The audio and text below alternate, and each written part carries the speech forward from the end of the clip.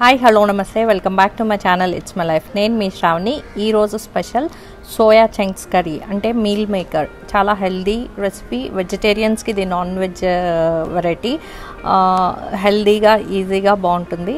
Let's get started. కనుక నా ఛానల్ని ఫస్ట్ టైం చూస్తున్నట్లయితే లైక్ చేసి షేర్ చేసి సబ్స్క్రైబ్ చేయండి. అలాగే పక్కనే ఉన్న బెల్ ఐకాన్ కూడా ట్యాప్ చేయండి సో దట్ నా ఫర్దర్ నోటిఫికేషన్స్ వస్తాయి.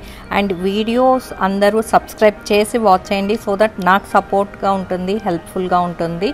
ఇంకొకటి నా ఫేస్బుక్ అండ్ ఇన్స్టాగ్రామ్ లింక్స్ కూడా మీకు ఇస్తాను. అవి కూడా ఫాలో అవ్వండి.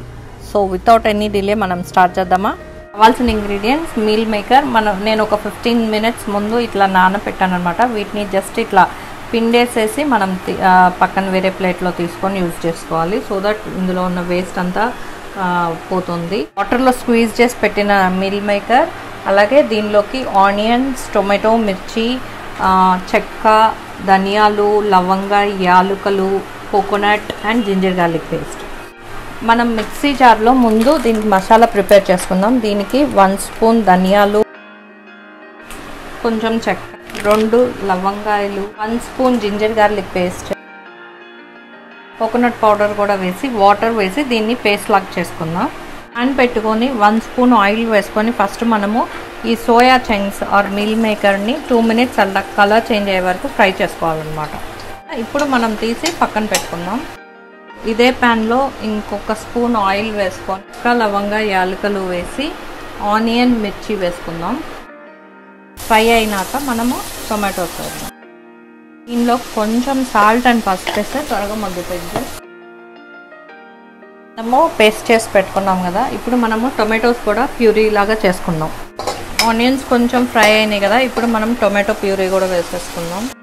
కొంచెం కారం అండ్ సాల్ట్ కూడా వేసేసుకుందాం. కొంచెం మగ్గిపోయింది కదా. ఇప్పుడు మనం ఇందాక గ్రైండ్ చేసుకున్న పేస్ట్ మసాలా పేస్ట్ వేసేసుకొని బాగా కలుపుకొని టూ మినిట్స్ మూత పెట్టుకుందాం. ఇది ఇంకొంచెం బాగా దగ్గర పడి గ్రేవీ ఇదైన తర్వాత మనము మీల్ మేకర్ మనం టూ మినిట్స్ ఫ్రై చేసుకున్న మీల్ మేకర్ వేసుకుందాం. మనం ఫ్రై చేసుకున్న సోయా గన్యూల్స్ మీల్ మేకర్ ఇవి కూడా వేసుకొని టూ మినిట్స్ ఫ్రై అయిన తర్వాత కొంచెం ఒక హాఫ్ గ్లాస్ వాటర్ వేసుకుందాం. కొంచెం పుదీనా కొంచెం కొత్తిమీర వేసేసి వాటర్ వేసేసి మూత పెట్టేసేద్దాం. ఇప్పుడు వాటర్ వేసేసి ఒక టెన్ మూత పెట్టేసి కలుపుకొని ఒక టెన్ మినిట్స్ కుక్ అవనిద్దాం. మనం చూద్దాము. పర్ఫెక్ట్. ఇప్పుడు మనం సర్వింగ్ బౌల్లోకి సర్వ్ చేసేసుకుందాం. ఇలా కొంచెం జ్యూసీగా గ్రేవీగా ఉంటేనే ఓకే. ఇంకొంచెం గ్రేవీ కావాలంటే ఇంకొంచెం వాటర్ వేసుకోవచ్చు. ఇప్పుడు మనం సర్వింగ్ బౌల్లోకి సర్వ్ చేసేసుకుందాం.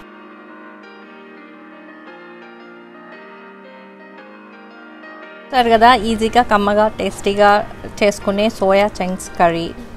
Soya chunks or meal maker curry అన్న ఏదైనా ఒకటే అండి. ఇది నేను ఆల్రెడీ నా మా మ్యారేజ్ డే రోజు చేశాను. ఆ రోజు హడావుడిగా ఉండి నేను షూట్ చేయలేదు.